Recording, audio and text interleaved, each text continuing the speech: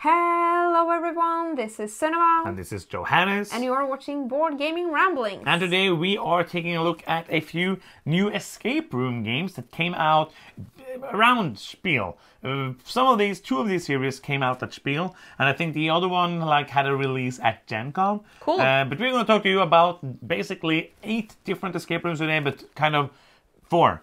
So you will see, you basically you see the thumbnail, so you Yes, already know, you know. The, the reason. Sometimes like, oh, you don't know what's going to happen in this video. You do because we show in the thumbnail Yes. what is in the video. You can see the future. Yes. Today we are going to start off talking about 50 clues. Yes. This is the third series of the 50 clues games. Before we go into that, a little bit of background. We did like a big escape room game video before because we love escape rooms. Yes, we do. How many escape rooms have we played? Like Oh. approximately. A lot. I, Yes, I a lot. I actually don't know. Well, okay, so so you can guess then. Hmm, I think we have around 100, maybe. You think we have? a You know what I mean? Like real life escape rooms? Yeah, real life. You know we played 60 at our honeymoon last year. Okay, so maybe more than 100? Yeah, we are nearly at 200 escape rooms. That's a lot. So next Cool. next trip we do, I think we're gonna be I think we're like at a 187 or 100 something like that. we are geeks. We really love escape rooms and we really love escape room games. We try to play um, and many and after a couple of these I want to play even more of the kind of different kind of ones. Okay, cool. But we love Unlock. We like Exit, like they were better in the Mm, beginning. downs, Yeah. yes. We don't like Deckscape because it's horrible. Yes. Uh, and, and and we tried a couple of other ones as well. But those are like the biggest ones. I cannot wait for a new Unlock. Hope it comes soon. But now back to this video. Mm-hmm. We're gonna talk about uh, 50 clues. The first 50 clues came out. I think it was 2019 I Spiel. think you're right. Uh, and it was dark. It was not for everybody because No. it had some very dark theme, mm, but we really liked it. Yeah, and the theme was making sense for all the escape room puzzles. Yes. Uh, which I th- think is really cool, and it was unique for me Yes. to put it in, yeah, without spoiling a context that kind of made sense. Um, and the the puzzles were really good. And we're gonna try to not spoil anything in this video. Uh, I'm gonna let you know if there is gonna be anything that I can count as a spoilers. But with this, we're not gonna spoil anything.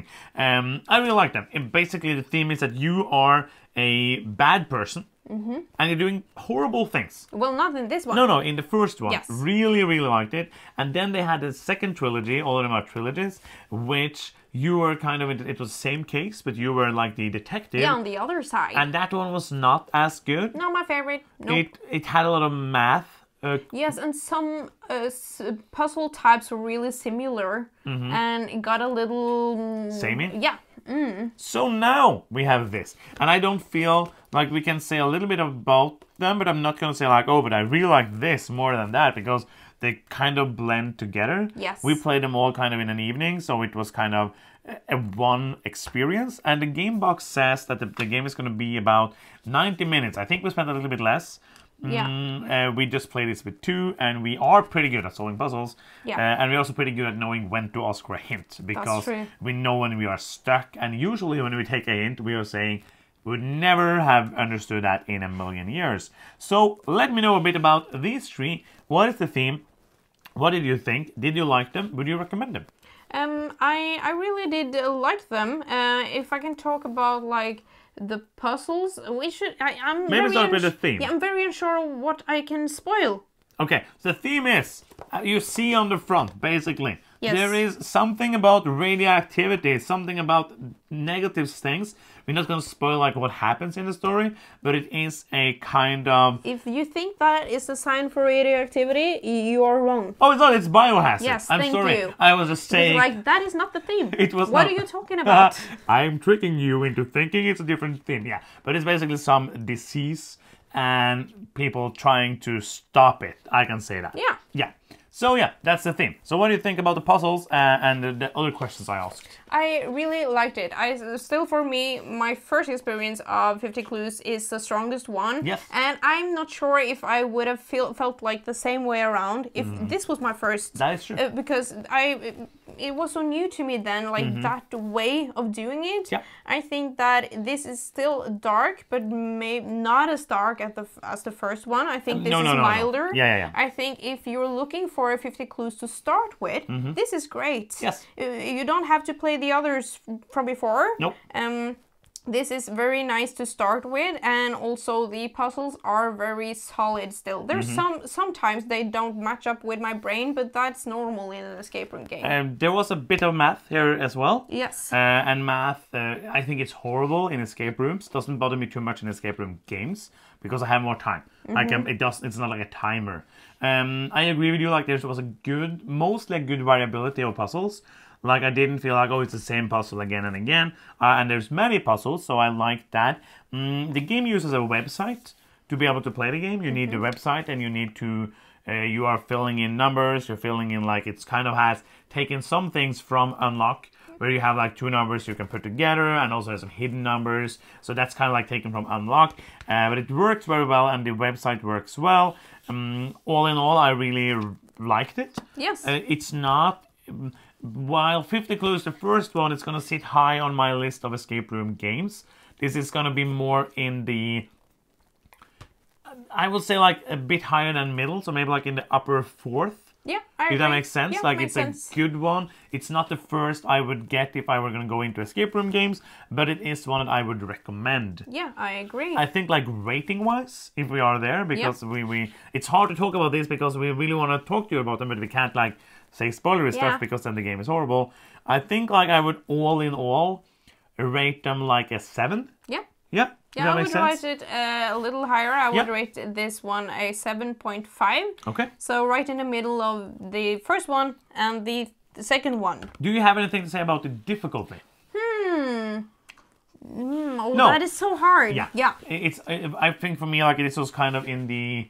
It was not too hard, but it was also you had to use your brain. Yeah. Like it didn't feel like obvious all the time. Some some puzzles I felt like okay, I really had to rack my brain. Yeah. So kind of in the middle for me as to the difficulty wise. Yeah.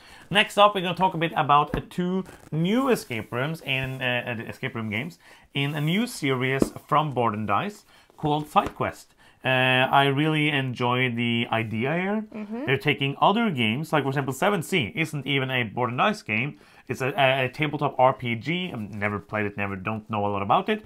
Um, and they are uh, making escape room in those settings. So you have one with uh, a Nemesis and one with the 7th Sea. Let's talk about them in the order that we played them. Yes. Uh, and and what is kind of the what is the most unique part of this game? I will see if you agree with me. What's the most unique part? There's there's two things. Uh, Yeah, I agree. Um, the first thing that is kind of unique is that you have you're building a, a room with like the, the parts of the game.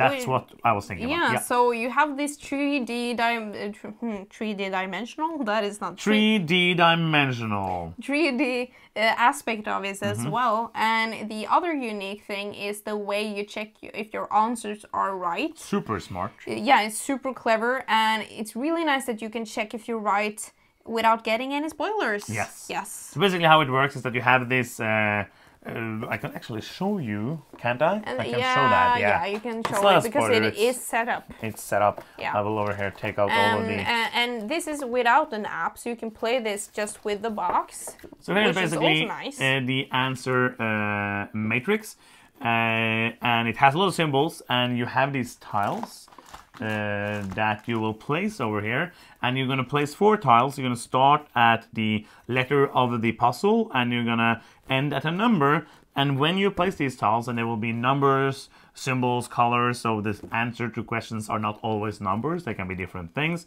And if the answer is correct, you will then see the same symbol on this on this one side, left side of all the things, and the same symbol on the all the side things on the right side. I don't know if you have it correct or not. Really, really like that. Mm, let's talk a bit about Nemesis. Uh, the this one. Uh, let's talk about a couple of things. First, how is it different than other escape rooms? Uh, let's talk about that first. How it is different from other escape rooms. Uh, it's another game. Yes.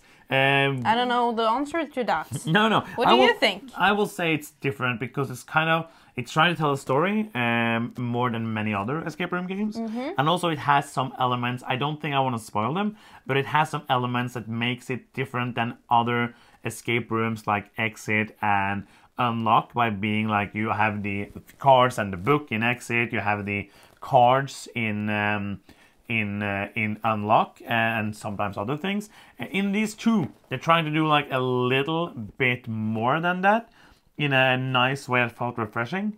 It felt kind of different but still didn't change the game too much but just gave it like oh this is how they want to do it with the 3d thing and also the other way the game worked. Yes, I agree, and I think that if you have played Nemesis, you would uh, recognize the theming Yes. in this game, and I think that I have made a cool thematic choices in in that regards. what do you think about the puzzles in this game I think the puzzles in Nemesis were, were was fun. Uh, we have played a prototype of that one. So no we played a it was kind of like a prequel thing but it had a couple of the Oh, yeah, same puzzles Something uh, I recognized some things of them. It didn't make it boring. It was still fun puzzles. I enjoyed them, and I I think uh, regarding difficulty, I think both of these were a little uh, like um, uh, Easy. easy. Yeah. mm. Uh, I don't know the word for easy.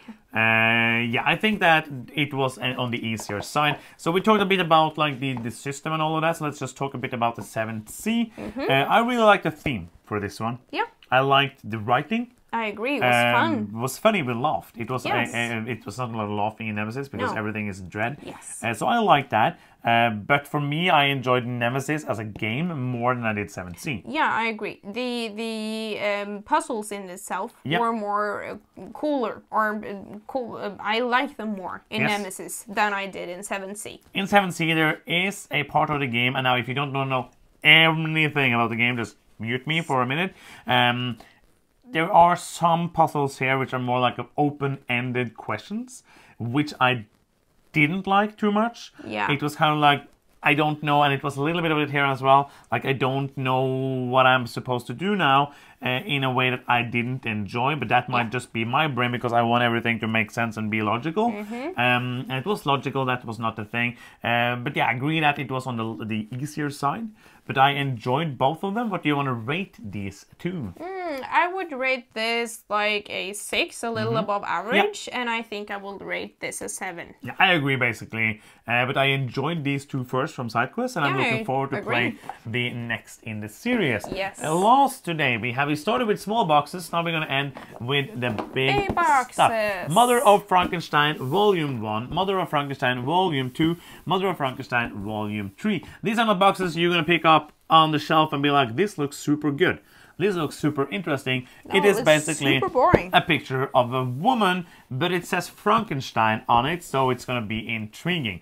Mother of Frankenstein is made by the people who run. What is it called again? It is Look called Me. Hatch. Oh. No, that is the, this, That- that is that that, is the because it says Look yes. Me. This is from Hatch Escape, the people who run that, uh, which is a LA-based escape room, um, and they have a game that we were supposed to play last year, which is supposed to be very good, called Lab Rat. Uh, one of the highly recommended escape rooms in LA. So if you are there and you like escape rooms, Lucky I think you. you. should go and play it. Mm, but Mother Frankenstein is uh, based on the life of Mary Shelley, taking some liberties here and there, making its own story, uh, but trying to be a storytelling, puzzle-solving game. Mm, less as an escape room because it's Yes. not trying to do it as fast as possible. Yes, because we introduced this video as like looking at the escape room games. Mm-hmm. This didn't absolutely not feel like an escape room game. It felt more like of a storytelling, puzzle solving game. Yeah. We do did not have a timer on this game. and it Luckily. doesn't uh, recommend it either uh, because it took us a fair amount of hours. It took us about 19 hours to solve these three boxes. And let's talk a bit about them. I am going to spoil a little bit about this, um, but it's things I already knew before I played them. Because, and so basically, if you're gonna buy them, and you're not gonna look at the things that are inside the box, because in here, there's like a poster that tells you in the next volume you're gonna do this thing, and the next volume you're gonna do this thing, because there's like a couple of things I think you should know before you buy this, and I think you know what I'm, I'm Yeah. talking about. But first, I talk about volume one. Yes. Volume one might be my new favorite puzzle solving experience. Yeah, was really fun. Yes. And it was so um, refreshing Yeah. to experience a puzzle solving game which really has hmm, I can't really describe it, but it feels like everything is thought through so mm, mm, yeah it's Yeah. yeah hmm I love like this is if you're gonna buy this, know that this isn't like unlock when you play something for 60 minutes and you solve like 20 puzzles. In this box, I, I don't I don't know, but it's, it's kind of like you have uh, different envelopes that you're gonna use, and you can open it and you're gonna solve something in there. But there might be a puzzle that you spend 90 minutes solving, and that's like parts of one puzzle. So it's not like you don't do anything and then suddenly you know the answer. Uh, but there are so many uh, very clever you feel so good when you understand how everything is put together and and the, the i also say that the writing is good in all of these three Yes. um, the one thing it was worst in this is the thing we luckily didn't have to use too much which is this game is almost perfect the only thing that's bad is the hints Yeah, uh, it says that you shouldn't be afraid to take hints Mm-hmm. because you won't get major spoilers. That isn't true.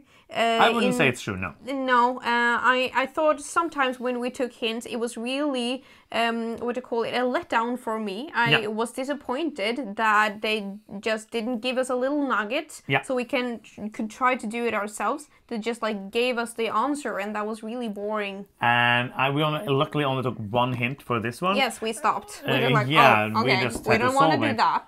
and I, I, I, I would have liked them to revamp that and writing them again.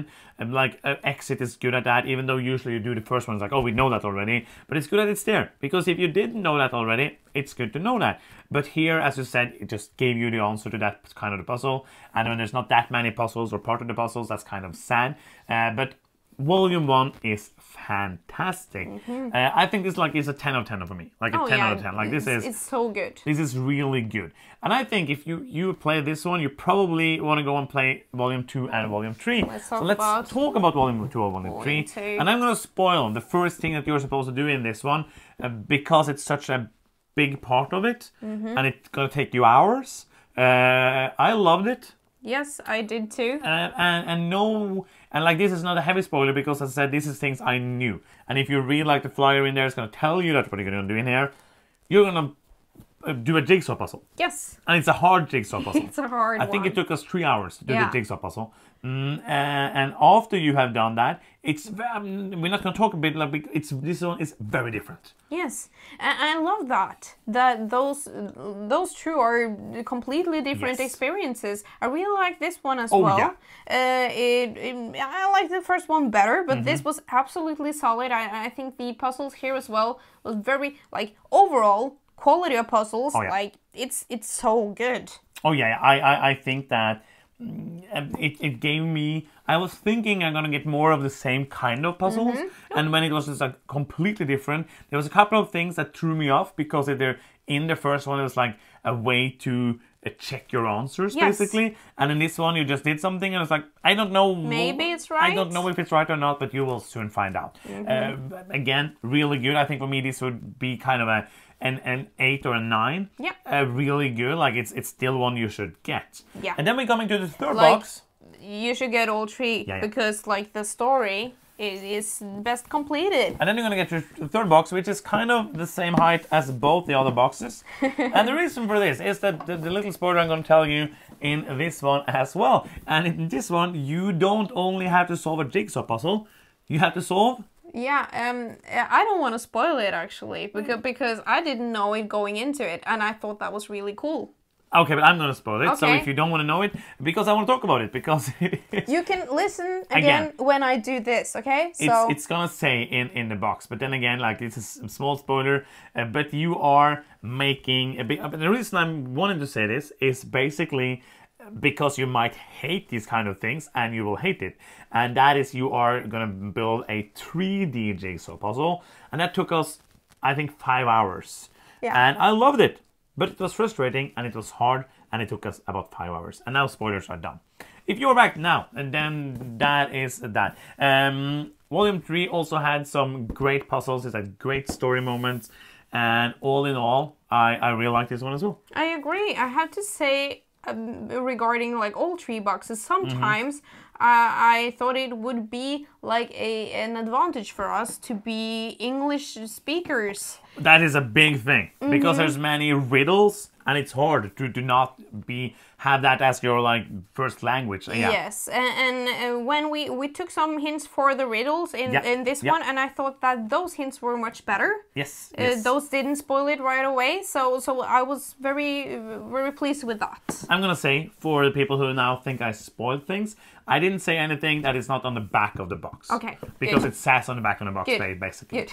I Um, didn't. I just didn't know, and No, I no. was like, I was just reading it. and I was like, oh, it's there on, on, the, yeah. on the back. That's fine. Um, all in all, I think that Mother of Frankenstein is going to be my new favorite puzzle solving experience. Cool. And I really want to play more of these kind of like puzzle solving things now. Yeah. Where you have harder, longer puzzles. I love Unlock. I love all of these like smaller escape room games, but this puzzle solving experience, if you know any of these that are good, please let us know because I really want to play them. Yeah, and regarding difficulty, this was difficult. High. This is a high difficulty game, and but I think also that this we really enjoy playing this just the two of us. Yes. But I think you could play this with more brains as well. Yeah. But know that usually you go you don't get like five different puzzles No. and everybody can do a little bit of that. That's You're true. usually having few puzzles at a time Mm-hmm. that are really involved. Yeah. And I, I think like all I think I would give that one an, an eight maybe. Uh, all in all, I would give the whole series a nine. Yeah. Uh, really recommend getting this if you Yes. are enjoying puzzle solving as well. I think that's going to be the end. Yes. Yeah, if you got any information out of it that that this video that helped you in any way, or if you just enjoyed watching us rambling along on escape room games, then you can help us out in a big way by giving us a victory point. And we get victory points when you click that subscribe button. You can also click the bell to get notifications every time we post a new video. And this is going to be the end of this video. I'm Johannes. I'm Sunniva. and you've been watching Board Gaming Ramblings, and bye bye.